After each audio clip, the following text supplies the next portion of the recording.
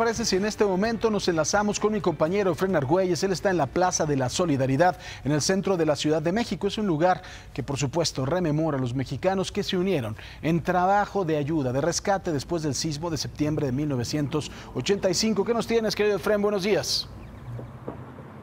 Gracias, mi querido Paco. Buenos días. El terremoto o los terremotos del año 1985 nos dejaron una gran enseñanza. Por una parte, la cultura de protección civil, pero también las autoridades tomaron algunas medidas. Exactamente un día como hoy, pero de hace exactamente 25 años, Paco, se instalaron las primeras tres alarmas sísmicas aquí en la capital del país. Si te parece, vamos a ver la siguiente nota que preparamos.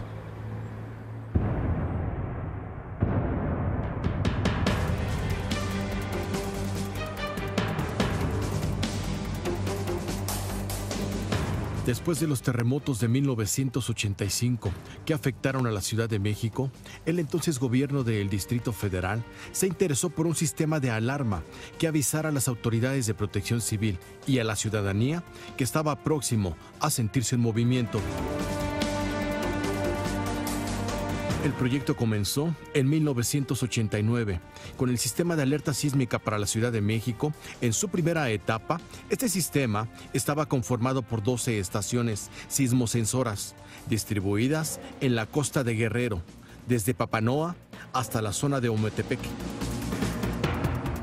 El 2 de agosto de 1993, hace exactamente 25 años, comenzó a funcionar el operativo del Sistema Nacional de Protección Civil las alarmas sísmicas fueron instaladas en los edificios del entonces Departamento del Distrito Federal, ubicado en el centro histórico, en un banco en la Avenida Juárez y en las oficinas centrales de El Iste, en la zona del Monumento a la Revolución. Este sistema fue pionero en brindar el servicio de alerta sísmica en el mundo.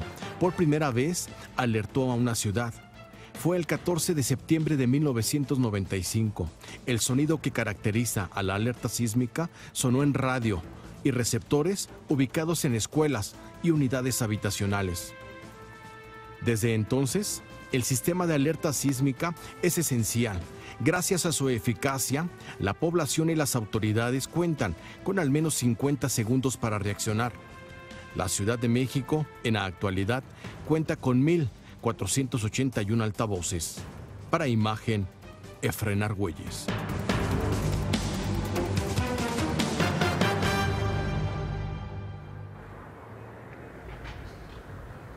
Paco, esta mañana estamos ubicados exactamente sobre Avenida Juárez, aquí en el centro histórico de la capital del país. Justo a mis espaldas, el banco en el cual fue colocado una de las principales alertas sísmicas hace exactamente 25 años. Y estamos justo también en el Parque Solidaridad. Anteriormente, minutos antes del terremoto de 1985, aquí se ubicaba el Hotel Regis, que posteriormente, a raíz del terremoto, se vino abajo, Paco, y hoy es un parque. Muy importante recordarle a nuestro amable auditorio que el próximo lunes las autoridades de la Ciudad de México harán sonar los altavoces. Estos altavoces que están en las cámaras de videovigilancia del C5 de la Ciudad de México. Son en total 1.481 altavoces. Todo esto, Paco, las pruebas las van a realizar porque a raíz del sismo, del sismo pasado, fallaron exactamente 757 altavoces y las pruebas las van a realizar para saber que todo esté funcionando de manera correcta y de esta manera ofrecer un servicio de calidad para apoyar a la ciudadanía y también la respuesta sea pronta por parte de las autoridades. A partir del primer lunes de cada mes, Paco, también importante informarle a nuestro amable auditorio, a partir del primer lunes de cada mes, de ahora en adelante, se harán estas pruebas. No va a sonar el sonido característico de la alarma sísmica, simplemente van a decir prueba de sonido 1, 2, 3 y de esta forma para constatar que todo el servicio esté funcionando de manera correcta, Paco. Para que la gente no se asuste, mi querido Efren, que estén muy pendientes que se va a hacer esta prueba, no se asusten, lo va a decir como tú bien nos acabas de mencionar, prueba de sonido, pero que la gente no se asuste, nada más escuchamos los, los altavoces y ya hay una psicosis generalizada. Así es Paco, esta vez no va a sonar la alarma sísmica, solamente van a activar los altavoces, esto será a las 12 del día del próximo lunes y así cada primer lunes de cada mes estarán haciendo estas pruebas para constatar y por supuesto ofrecer un servicio de calidad y reaccionar en caso de emergencia tanto la ciudadanía como las autoridades. Hoy cumple 25 años la alarma sísmica aquí en la capital del país, Paco. Te agradezco mucho, gracias Efren, buenos días.